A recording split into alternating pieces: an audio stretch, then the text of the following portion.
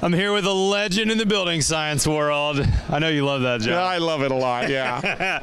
John Straube. John, I have learned a crazy amount of info from you over the f- probably 15 years I've heard I've heard you speak.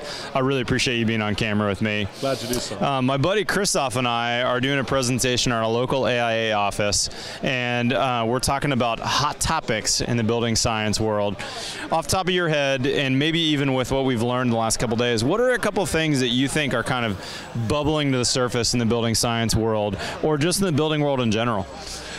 Well, I mean, hot topics, I guess, are things like thermal bridging uh-huh. uh, and air tightness. Yep. And I would say that those aren't really in the building science research world because, well, that's been worked on for a lot of years, but yeah. now it's actually starting to get to mainstream. So people who are building buildings are now asking questions about how airtight they are. Yep. And with that air tightness comes how are we going to like do range hoods for rich people's houses with right. 1500 CFM exhausts? Totally. How do we do like the indoor barbecue and fireplace? So they're kind of connected, the air tightness and the mechanical ventilation side. Um, as I said, continuous insulation, and I would say this is probably not hot or new. It's but retrofit. How are we going to fix all the crap we've built over the last century? Uh, and you know, uh, sure, we're building a lot better buildings today, and on average, there's still lots that are below standard. Yep. But there's just lots of buildings that have been built. Uh, need to be fixed. Is we can't solve the problems we have with just building new ones. Yeah, I totally agree. John, a couple of hot topics in Austin that Christoph and I seem to hear a lot about from clients. He does, he's on the consulting side, I'm on the building side. But, um, you know, I've heard a lot about mold these days from people. You know, I first learned about building science during the mold crisis, and you and Joe were my main teachers uh, along with Mark LaLiberte 15 years ago now. But I feel like I'm hearing a lot now. The last two months, I've had two clients come to me, and the first thing they wanted to know about was what would I do for their house if I build it for them, knowing that mold is their number one issue. So if you think about the, what we learned about mold the last couple days, and of course a lot of that was was kind of heavy duty research, but what do you what do you think about building a mold-free house? Or a client comes to you and goes, you know, Matt the number one topic is a mold-free house that's going to stay that way. What kind of things would bubble to your mind on that? Well, first, I'd say I'm a bit uh, surprised to hear that it's becoming more noticeable. I, I, mean, I thought that it was pretty well a concern across America already. Okay, so I'd say step one, okay, that, but it should be a concern, and I guess partly what we heard today, but I think ongoing, it's it's more than just mold. It's yep.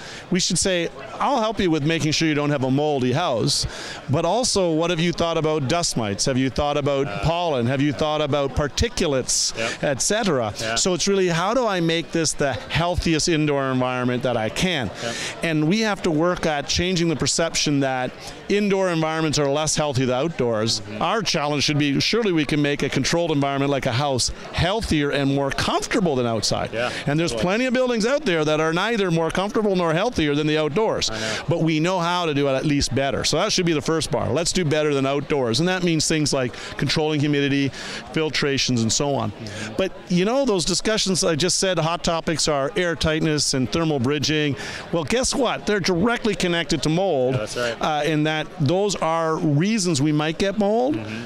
But the number one granddaddy of all mold is, of course, rain leaks and plumbing leaks. Yeah, that's right. And so that was that a hot topic? I don't know. It's It not going away. It, me, it has got to be a number one priority of anybody building a building anywhere, Yep. maintaining or operating a building. Is how do I stop rainwater leaks? How do I control and manage floods, uh, you know, from both plumbing and from outside? Yeah. Uh, those are still. Let's not forget as we try and move forward, Yep. the lessons of the past and what that needs to still be a full-on effort for us. I totally agree. And as a follow-up question to that, you know, when I interviewed those clients in particular, they wanted to talk about alternate building systems very early in the conversation. Um, you know, let's talk about ICF, or let's talk about you know or SIPs, or, concrete, or exactly. Where, where does that fit in this conversation? Do you think?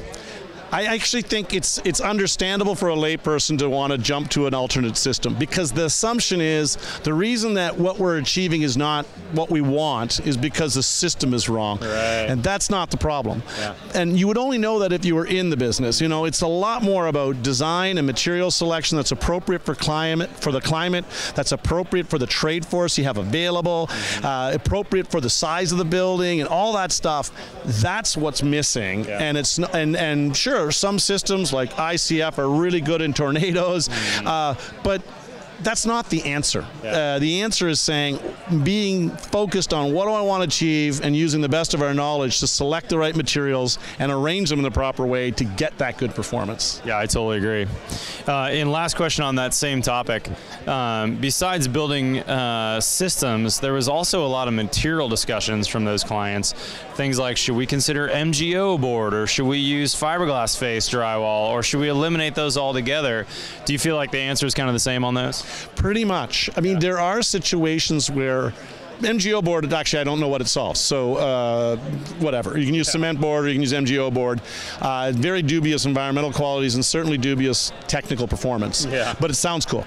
Uh, with respect to uh, fiberglass face gypsum board, absolutely use that in places where you can't avoid them getting wet, like pools and uh, hot tub rooms and, and greenhouse additions and so on.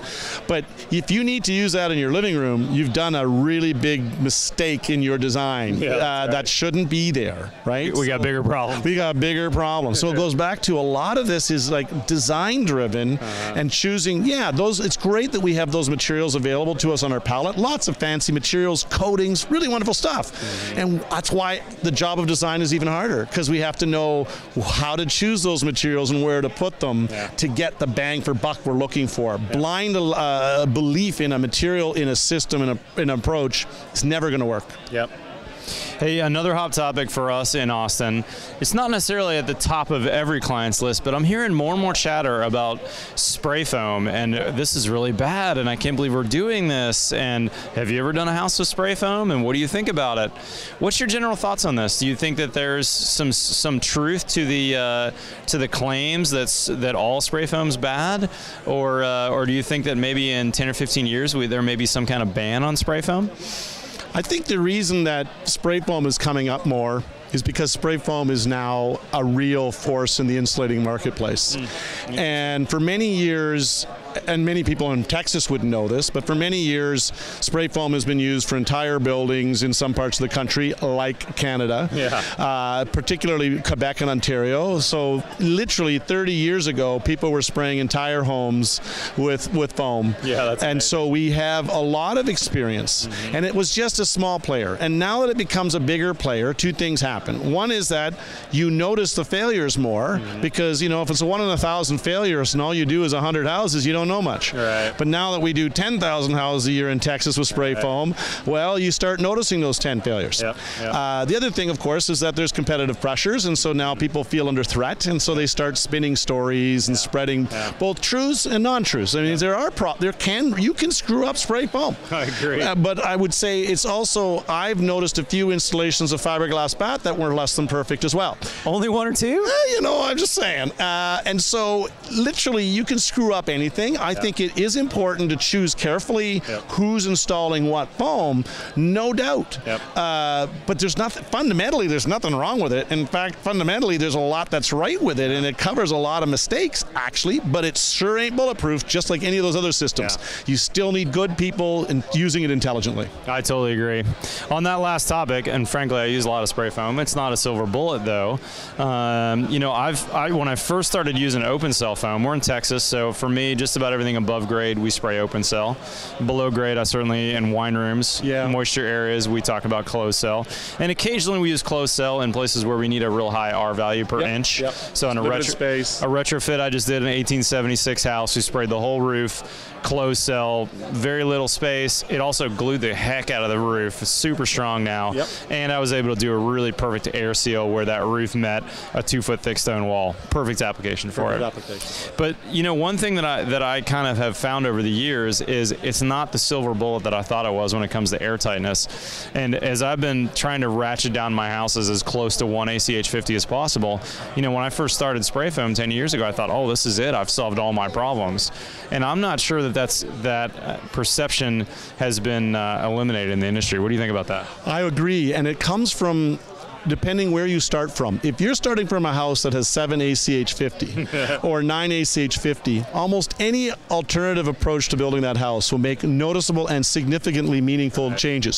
So you switch to ICF, and if you don't even do anything but switch to ICF, you're going to be at like three or under. Yeah. And if you care a little, you're at two. But you're talking like one. So now when you start talking about one, you know, spray foam, ICF, uh, plastered straw bale, none of them are going to make it to numbers like one without real attention to detail in design and in construction. Yeah. And so that's sort of the difference. It's relatively straightforward to get down to three with just a few changes and a little bit. But as you start ratcheting it to one, Yep. it really puts more emphasis. And so that's why we start seeing, okay, you use an exterior air barrier that covers everything, you know, but spray foam will easily get you below three. ICF will get you below three. Even SIPs won't get you below three without a little bit of detail, Yeah. but they certainly can. Yeah. Um, and Totally. but framed, we know how we get framed down to, to one. It's just uh, you need a continuous exterior air barrier and detail it fastidiously, and it works. Well, that works on every system.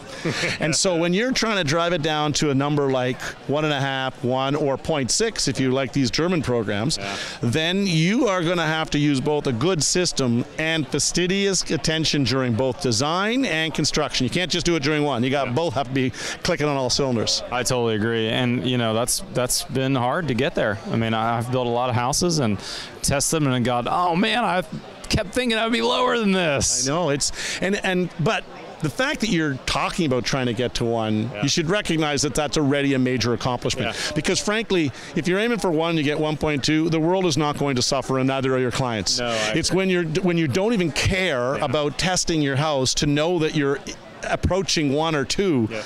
Yeah. That's the problem, houses. So it's a good problem to have is not hitting one Yeah. and missing it, or not hitting 0.6 and going to 0.72. When you're weeping about how much effort you put in and missed, pat yourself on the back because you really did achieve something special. Yeah, thank you, John. I appreciate that. Any uh, any closing thoughts on hot topics in your mind, and or interesting building technologies that you're seeing more and more of out there? You know, I would say that I'm seeing more deployment of technology that's been sitting around waiting for people to buy it for a long time. like. So, like better windows, you know, uh, people moving away from double hung slider leakers, uh, moving to casements and awnings, uh, people actually using triple glazed in cold climates, people actually thinking about putting shade over their windows in hot climates. So, it's not and I really don't think we need fantastic products for a while. What we need are people to deploy what we already have and can afford to do. Yep. I totally agree. Last question for you as we're thinking about that. How do we deploy those? What's the way that we educate those next wave of builders? You know, I got into building science from the mold crisis, and a builder I was working for had to buy back a bunch of houses. I was in serious crisis mode when I learned about building science. How does the average builder who's maybe 10 years younger than me and new in the business learn about building science these days? Well, I guess it is a really a self-driven exercise. I would like to say that the home builders associations in each city are going out there and trying, but I can't. Yeah. Um, but I would also say that builders are part of the puzzle, but they're not the only part. Uh, we need consumers to know about this. That's a big deal. If consumers don't know, they can't drive the whole market. Yeah. And also, of course, designers have to know. And I would include, how about real estate agents who actually have to sell products that are better and they don't know that they're better? Or how about appraisers who have to get mortgages on properties that are substantially better and lower risk, but they don't know it so they can't actually get that? And how about building code officials who are supposed to inspect alternate ways that are superior but different and they don't know? So, as always, I, you know, obviously I'm biased as a professor. I'm saying we got to educate a lot more and a lot more broadly. And I think, sure, builders need to be one of those people being educated, but boy, there's a whole bunch of other players in this system, and some of them are way further behind than the builders are. Yeah, I totally agree. John, thank you so much for joining me. Pleasure. How can people get a hold of your teaching or your training if they're watching this video and want to see more from you? Uh, buildingsciencelabs.com. We have a lab. We have webinars every month that people can sign up for. Buildingscience.com remains a great resource for all kinds of housing information and high performance building. John, thank you so much. I appreciate your training, your dedication to excellence. I've learned so much from you. We'll see you at the 21st uh, Building Science Symposium, Building Science Summer Camp 2017.